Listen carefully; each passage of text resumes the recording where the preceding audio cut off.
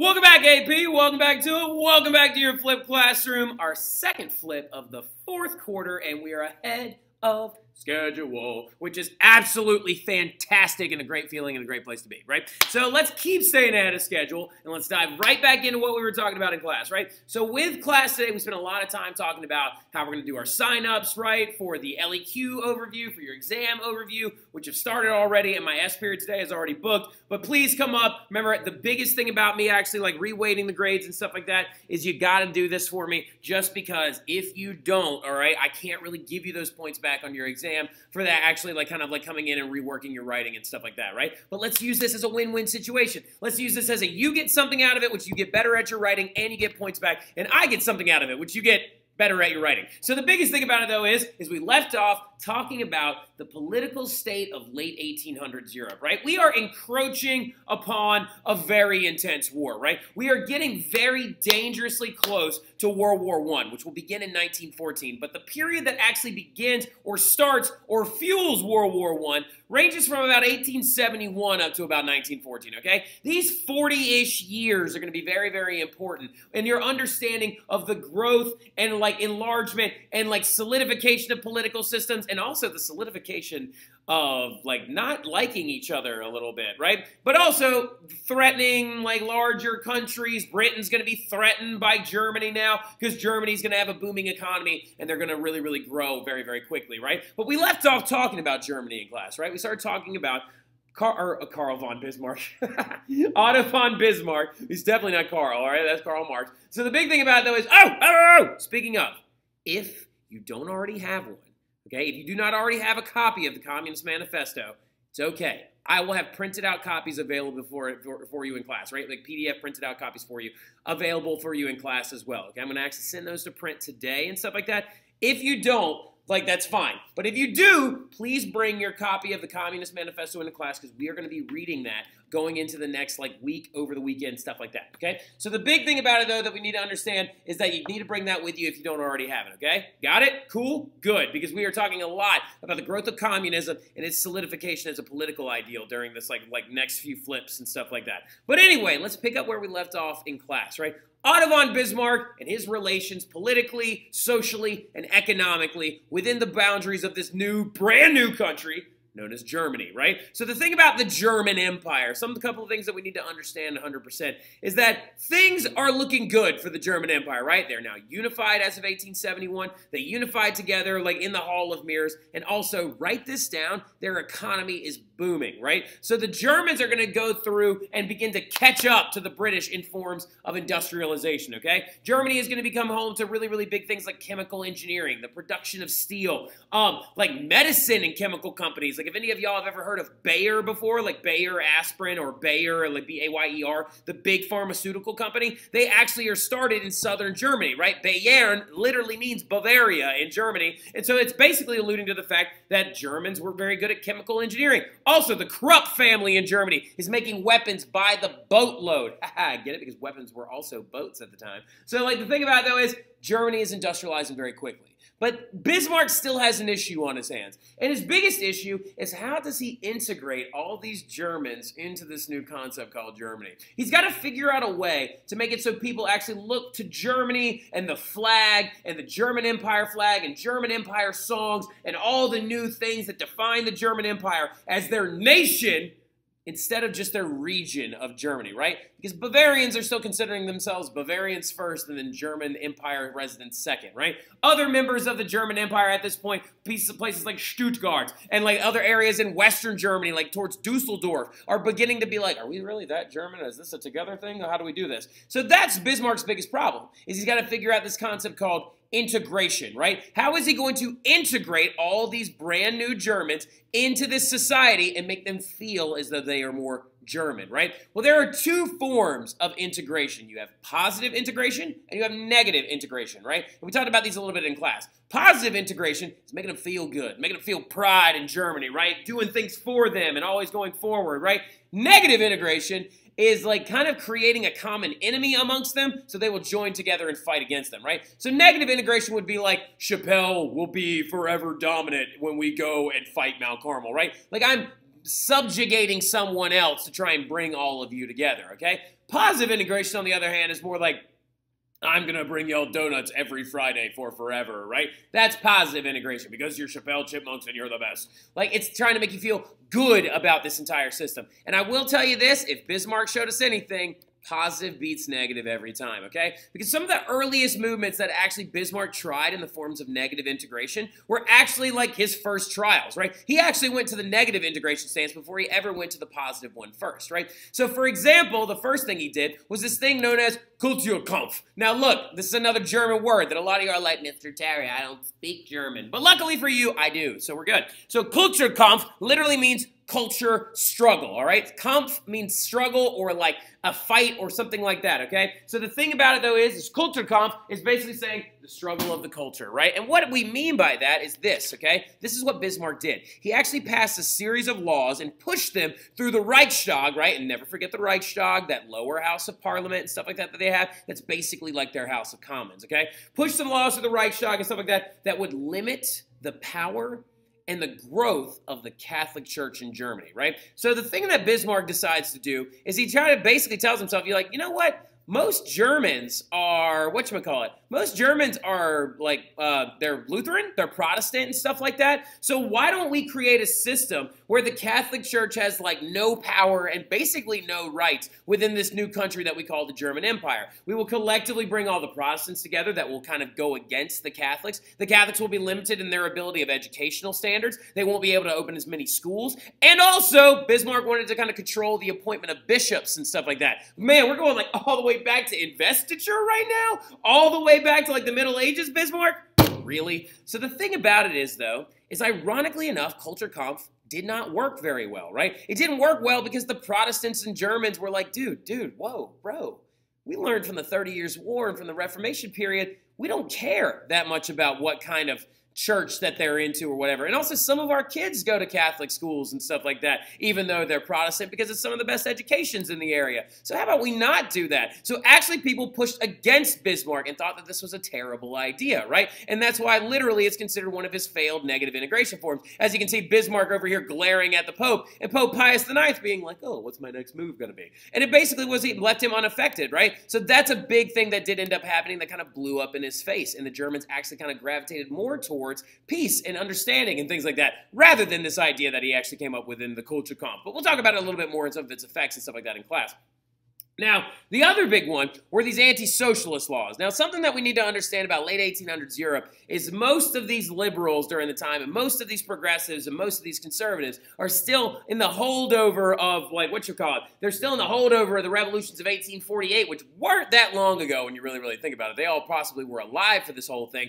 When the socialists began to make a lot of big demands, right? They started making demands of, like, certain hour labor, right? Certain minimum wages, certain health insurance benefits, and stuff like that. And so, what's going to end up happening is a lot of people are going to be like, man, we got to keep these socialists out of the Reichstag, right? Otto von Bismarck listens to those conservatives and liberals, like, yeah, you guys are right. And so he literally creates a system of laws that makes it so you cannot wear socialist emblems inside the Reichstag. You cannot run on socialist platform parties, right? You can't have a name being a socialist. You cannot do that because he's basically trying to eradicate the socialist movement in Germany and prevent them from being elected to the Reichstag. Well, what those socialists are going to do is they're just going to move underground. They're just going to be like, oh, well, we're not socialists anymore. We're Democratic Republicans. Or we are have this new name. We're going to give ourselves a new name. We're going to call ourselves the Labor Party. All right? We're going to call ourselves the Workers Party or something like that. And instead of wearing the insignias, what they're going to do is they're going to like weave red thread into their buttons and stuff like that on their shirts. They're going to be like, sorry, bro, I like red a lot, right? I know it's a socialist color, but I just like red. And like, so what are you going to do about it?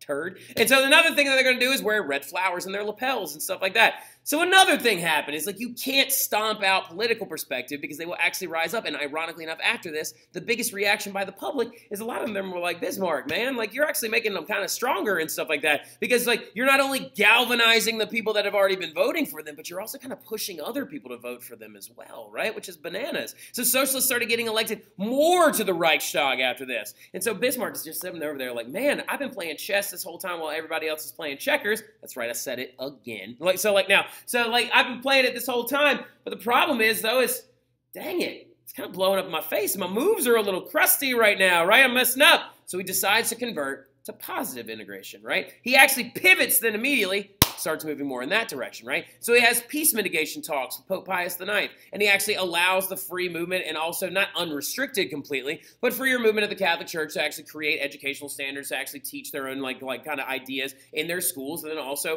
kind of like creates a system of bishop appointment with Pope Pius IX in this newly formed German Empire, right? People applaud Bismarck for this, and they're like, very nice job, good sir, right? You see, this is the biggest thing about Bismarck is he's such a good politician because he's not stuck in his own ways, right? He's not going to sit there, do Kulturkampf, and be like, no Catholics, and then just sit there and keep saying no Catholics, and just like keep doing it all the time. He's going to react to what the people want and to what the people desire, right? So he goes into those peace mitigation talks. And also he says, all right, socialists, y'all want to, uh, play this game? Y'all want to play this game where like you like wear your little goofy flowers and your little threads or whatever? Fine.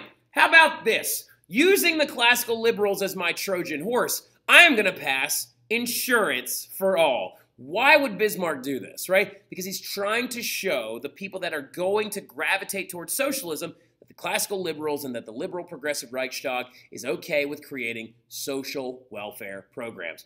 Write this down. Bismarck starts creating the social welfare state in Germany to try and prevent the growth of the socialist parties this is genius, right? It's genius. He's using the classical liberals as his Trojan horse by being like, look, these classical liberals are passing things that you would love, like insurance for accident insurance. You get hurt on the job, we're going to pay you until you get healthy, right? You get old age, social security. Anybody ever heard of that before, right? Social security, socialism, right? Ideals of socialism being integrated into a progressive German economy, right? Old age insurance, you get too old to work anymore, big fella? We're going to give you a little bit of money. How about that? like, so, like, also another one, disability, right? You get hurt so drastically on the job you can't work anymore, the German government will keep you afloat. Sound good, right? And then also, healthcare, universal healthcare for all people of German Empire citizenship, right? Now, this is going to make the socialists happy and aggravated all at the same time because a lot of people are going to start voting for classical liberals that actually pass all this stuff, right? Again, Bismarck, He's playing chess again, right? He's back playing 4D chess. Now, the thing about it, though, is when he does all this stuff, it strengthens the Germans' economy, it strengthens the German Empire, and it makes them bigger, better, and even more ferocious. And it's also kind of freaking out the British a little bit. They're like, man, over the, the British channel, they're like, or over the English channel, they're getting really, really strong over there. But then, probably, the worst thing in the late 1800s happened. The worst possible thing in the late 1800s happened because it was all comes down to when this guy that we're about to talk about becomes the next Kaiser because Kaiser Wilhelm I dies, right? And his son is a smelly, stupid, dead. Oh, wait. Oh, wait. There you are. Dead armed, goofy mustache. Look at this dumb thing that he has on his face. All right. So, goofy mustache, dead arm, brat becomes the new Kaiser of like of Germany in 1888, right? So Kaiser Wilhelm I dies, and Kaiser Wilhelm II is going to inherit the throne, right? Which means that Bismarck now has another Kaiser he has to work with. Now, the interesting thing about Kaiser Wilhelm II is he's awful. Like, so, like, he is like one of the worst people ever. Now, ironically enough, he's not like he just has a really, really weird personality, right? He's very, very narcissistic. He's very, very like constantly struggling with his version of toxic masculinity, right? And he also has a lot of toxic masculinity because he literally has a withered arm that hangs from his left shoulder. Like this arm right here doesn't do anything and he can barely move it and stuff like that. And it doesn't really feel any pain. And it's also six inches shorter than his left or his right arm and stuff like that. And so in all all of his pictures and stuff, he would actually have it propped up on top of a sword so it looked like it actually had mobility when it really, really didn't, right? And so he struggled with that because Prussians pride themselves on military strength and being able to ride a horse, shoot a gun, do all these different things, and he couldn't do it. And so literally it affected his personality. And so when he takes the throne, he starts actually fighting against Bismarck. He starts going against it, being like, You puppeteered my father, but I won't let it happen to me. So he lifts all the anti socialist legislation that Bismarck passed to try and earn like some like, like, so, to try and earn some like liking from some of the other German people. And then he forced Bismarck to retire. So Bismarck actually was forced to resign in 1890 by this idiot because Bismarck actually is the guy that I believe had stayed in power probably would have been able to prevent World War One. But no, Kaiser Wilhelm II's got to come along. He's got to ruin everything for everybody. All right. So like now, look, but we'll talk more about that guy in class. Talk about why I don't like him, and talk about why he's almost a direct cause to World War One. But just so you know where we are leaving off in Germany right now, Kaiser Wilhelm II's in charge. He has now forced Otto von Bismarck to like resign, who was doing the right thing by reacting to his bad decisions of negative integration and going with those positive ones, right? Well, let's move over to France, right? What's going on in France a little bit, right? So we talked about Germany. Now we're going to talk about France. Then we're going to talk about Britain if we have time, right? If we have a little bit of time left at the end of this, we will talk about Britain. But what's going on with France? When's the last time we checked in on France? Uh, last chapter, last thing we knew about France is that they lost drastically in that Franco-Prussian War, right? They lost there in the Franco-Prussian War, which broke out in 1870, or like broke out in 1869, 1870, right? Going into 1871. Actually, it broke out in 1871. It was a very short war. So, like, yeah, the thing about it is the Franco-Prussian War breaks out in 1871, okay? And like what ends up going down is Napoleon III gets captured at the Battle of Sedan. Remember that was that picture of Otto von Bismarck sitting on the bench talking to Napoleon III.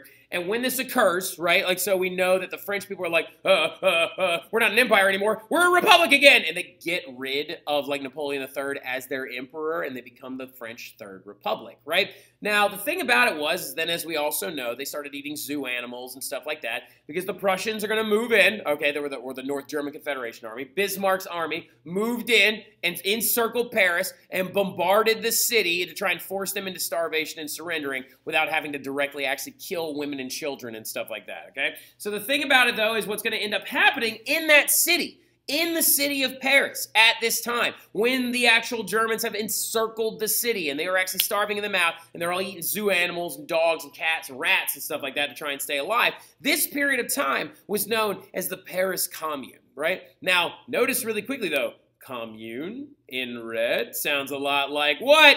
communism because literally it was right like so the paris commune was a rejection of governmental values on the way that they had existed before right it was the french third republic and the french third republic was based in a communist style revolution one in which that there was only a governing state body to regulate the distribution of goods and the distribution of money and land and wealth to make sure that all parties were necessarily even okay the thing about it though is, is the paris commune which was ultimately violent and destroyed many landmarks inside of Paris to try and reject the old government. They created more barricades and used cannons to try and repel the Prussians and things like that. And they, of course, had their Vive la Commune, right? Like, so actually trying to like go to the very first attempt at a communist revolution actually happened in France. And it failed. It failed pretty miserably, right? It only lasted a few weeks and stuff like that, and 20,000 people died in the destruction of the commune, right? When the Prussians moved in and when the soldiers began to try and resist the actual Germans moving in and stuff like that, 20,000 people died defending this communist revolution, okay? That period of time is also known as the Bloody Week. All right, so like now, but the thing about it that we just need to know or remember about the Paris Commune is that legit it was the very first attempted communist revolution, right? Which is why when we read that Communist Manifesto, is a lot of this is going to start making more sense. All right, so like, now look, but the Third Republic in power, uh, or the Third Republic is going to come into power after the destruction of the Commune in 1871. Okay, so the Bloody Week destroys the Paris Commune. The Third Republic is now in charge. Okay, so the Third Republic is going to be led by a new president. Okay, the president that will be elected after the destruction of Napoleon III's power is a guy by the name of Adolphe Thiers, right? Now, Adolphe Thiers is kind of a weird dude in history because, like, he does a lot of great things, does a lot of terrible things, right? But the biggest thing about it is he's a lot like Otto von Bismarck.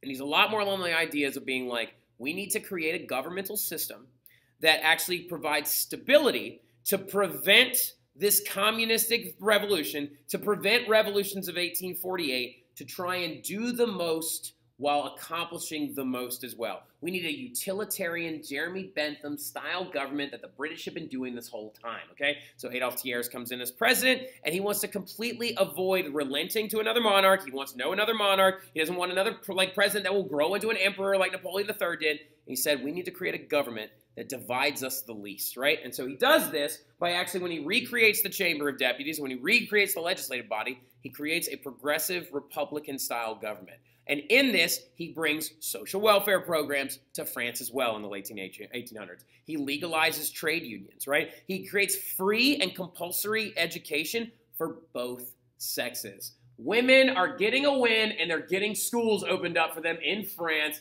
It's about friggin' time, right? Now, ironically enough, Adolphe Thiers did not come up with this concept of like big, like like schools created for all and stuff like that. That actually was a Napoleonic reform. Napoleon, the first, the first Napoleon, created these things called lycees and stuff like that, as y'all probably remember. He's the one that came up with the idea of creating more schools. But Adolphe Thiers went a little socialist with it to try and keep those people that had just died in the Paris Commune a little bit more happy and said these will be free government funded, and we will try to make it so all of our citizens can read, write, and have the basic three R skills, which is reading, writing, and arithmetic, right?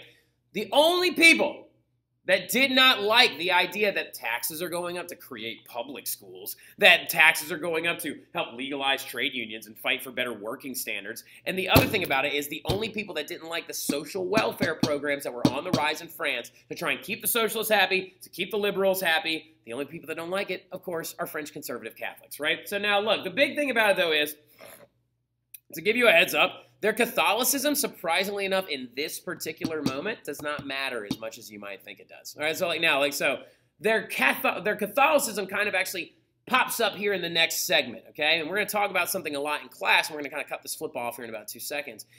The fracturing, though, emerged most drastically. Like, so, like, during a very important event known as the Dreyfus Affair, okay?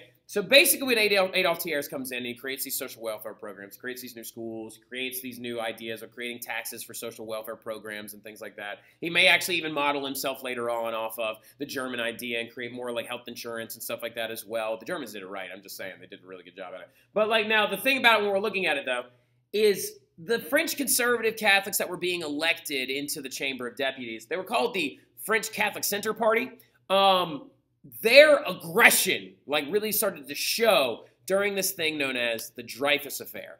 And it kind of really formally split these two parties that actually were there in like France into the French Catholic Center Party, the conservative one over on the right, and then there was this other one over on the left known as the National Liberal Party. Okay, like so. But what we're going to see and talk about in class is the Dreyfus Affair and why this event caused them to sever from each other so much and how it's going to actually demonstrate something that's under the surface in all these European countries. And it's this thing known as anti Semitism. Okay? Anti Semitism is the industrialized hatred and also violent action towards people of the Jewish race. So we'll talk more about that in class. Okay? It's a big, big story that we'll discuss. Okay? I'm very excited to talk about it with y'all because it's a very good story. And um, last year we like really, really talked about it a lot and kids really enjoyed it. And Alfred Dreyfus is just like a really cool character. All right? So we'll talk about the Dreyfus Affair and we'll talk about how Did all these positive things. Now this event will kind of sever their government going forward. All right, we'll talk about that soon. Y'all have a good one.